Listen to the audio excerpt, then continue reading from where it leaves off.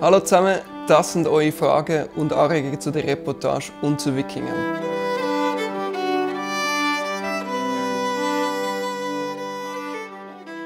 Wenn man in so einem Online-Kostümversand eingibt Wikinger, dann stößt man das Zahlen erst auf genau solche Hornhelm.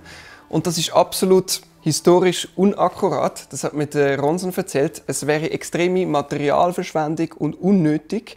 Und man hat es einfach auch nie gefunden. Es hat keinen Fund mit so einem Hornhelm. Und wahrscheinlich ist das Bild ein bisschen geprägt von Vicky und die starken Männer oder äh, anderen Filmen und Serien. Und genau so ist es auch mit der Kampfszene der Reportage.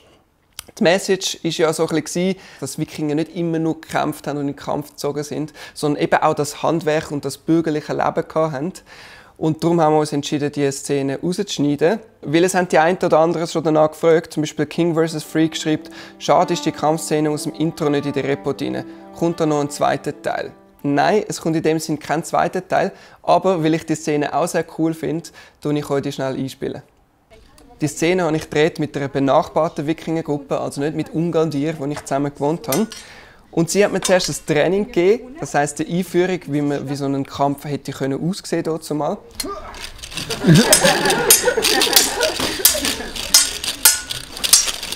Und dann nachher ist es dann ernst geworden. Das heißt, wir haben gefreestylt und mir ist es recht eingefahren, wie physisch das so ein Kampf ist. Also nach sechs Sekunden hätte ich schon die erste Schnittverletzung gehabt, wenn jetzt das Messer geschliffen gewesen wäre. Und nach zwei Minuten bin ich schon an Erschöpfung zusammengebrochen. Ah.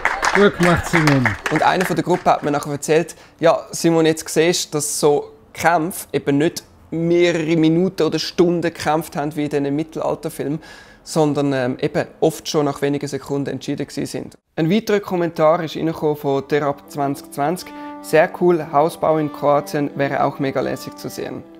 Liebe Derapt oder liebe Derapt, äh, ich schalte jetzt nämlich gerade zum Ronson auf Kroatien. Er ist aktuell gerade im in der Bauphase von seinem Haus. Und vielleicht kann er ein bisschen zeigen, wie es dort aussieht und uns ein bisschen updaten und auch noch auf die ein oder anderen Kommentare eingehen. Ah, hey. hey Ronson, wo bist du?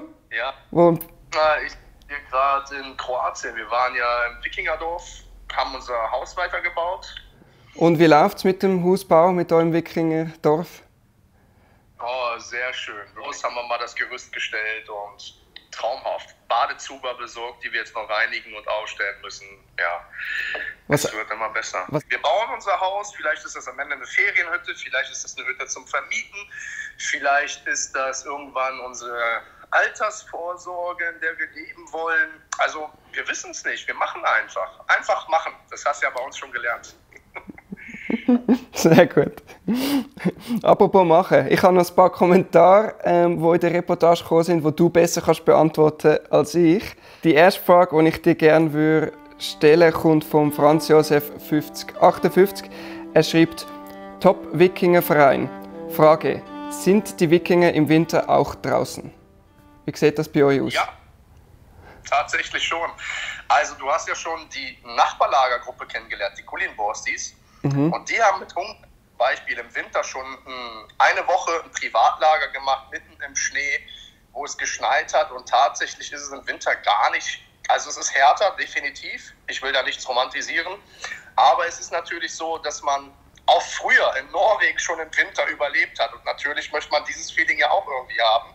Ich möchte gerade zum nächsten Kommentar gehen. Daniel Severin 5870 schreibt, eine schöne Doku und äußerst sympathische Menschen. Aber als Living History Darsteller muss ich trotzdem sagen, dass etwas schade ist, dass man das Gefühl bekommt, dass die Wikinger wirklich so aussahen und lebten. Schön, dass einzelne Details tatsächlich historisch sind, aber vieles ist eher Fantasy.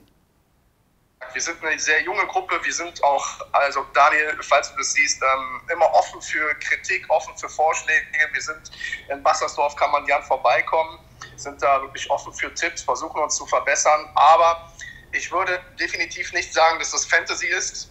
Auf keinen Fall. Aber in so einer Doku ist natürlich schwer rüberzubringen, welches Lager gehört wohin. Und also es gibt immer was zu finden. Und gerade bei uns als junge Gruppe gibt es noch ein bisschen mehr zu finden. Aber wir nehmen das Ganze, wie gesagt, wirklich sehr, sehr ernst. Und ähm, Fantasy ist es definitiv nicht. wo, kann, wo kann man euch mal besuchen gehen? Ja, Bassersdorf steht jetzt noch an. Ich das heißt, wenn man sich selber das Bild machen wie historisch das sind und so mit dem Finger zeigen, hey, welcher Fund ist das, dann kann man vorbeikommen in Bassersdorf bei euch und euch besuchen genau. und durchlöchern mit Fragen über die Wikinger. Absolut. Cool, sehr cool. Hey, danke Ronsan, vielmals für das Gespräch. Tschüss. Ein weiterer Kommentar ist von der Angela Angela 1484.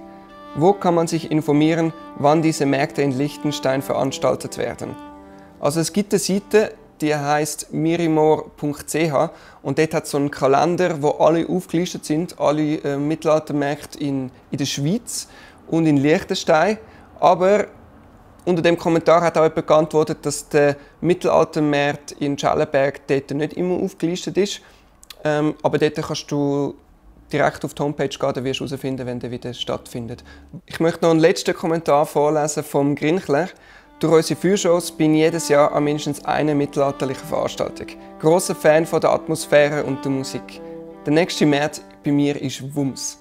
Wums, das ist ganz ein spezieller Mittelaltermarkt. Und zwar tun sie dort fiktive Schlachten nachstellen. Also das ist zum Beispiel Wikinger gegen Ritter gehen dort in die Schlacht. Und ich habe mir auch schon überlegt, ob ich echt nächstes Jahr dort teilnehmen soll. Aber was denkt ihr? Findet ihr das spannend? Soll ich nächstes Jahr auf WUMS gehen? Oder habt ihr noch andere Fragen zu der Reportage? Dann könnt ihr es natürlich da unten in die Kommentare schreiben.